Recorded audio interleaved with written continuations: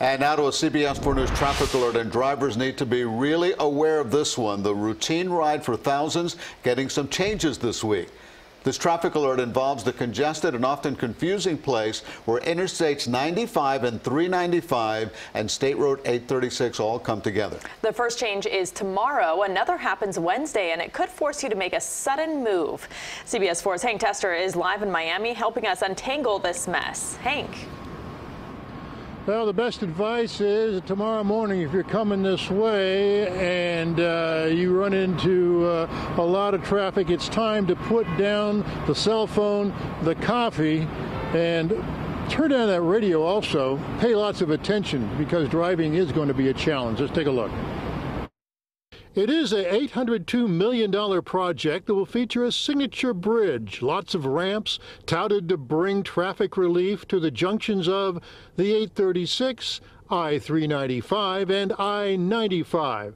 But there is a price to pay. The down payment for motorists comes Tuesday, November the 12th.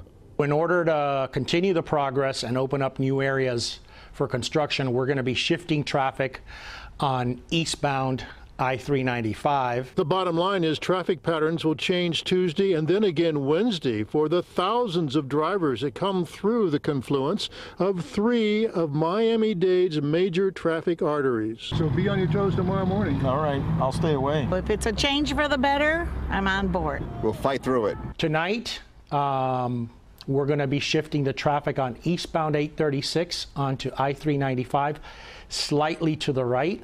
Drivers on eastbound I-395 will continue to use exit 2A to access Biscayne Boulevard, and Tuesday you can continue straight on to the MacArthur Causeway. All the static signage will be changed to reflect the new travel patterns.